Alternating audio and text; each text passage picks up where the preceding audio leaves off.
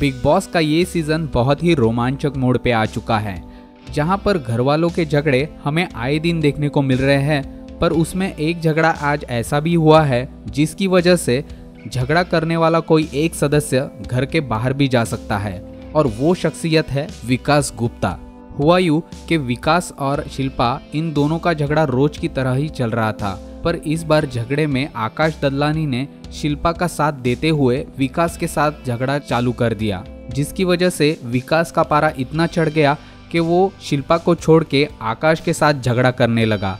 बात इतनी आगे बढ़ गई थी कि उन्होंने लातों घूसों का इस्तेमाल भी किया। पलटवार में आकाश ने भी उनके साथ हाथापाई चालू कर दी और इसी बीच विकास ने आकाश के मुँह पर ऐसा घूसा दिया कि जिसकी वजह से उसके नाक से खून बहने लगा। उन दोनों की ये हाथापाई देखकर घर वाले बहुत ही शौक हो गए।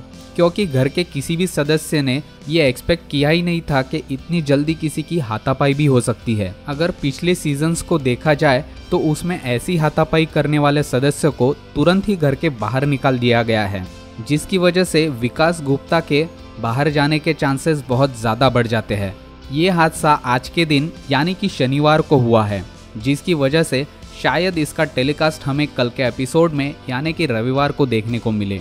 पर अब देखना ये होगा कि बिग बॉस और सलमान खान विकास गुप्ता को उनकी इस हरकत के लिए घर से बाहर निकालते हैं या नहीं आप सबको क्या लगता है विकास गुप्ता को घर के बाहर निकाल देना चाहिए या फिर नहीं अपनी राय हमें कमेंट सेक्शन में ज़रूर बताइए और बिग बॉस के घर की ऐसी ही एक्सक्लूसिव न्यूज़ के लिए हमारे चैनल को ज़रूर सब्सक्राइब कीजिए Thanks for watching this video. If you like the video, then share it with your friends.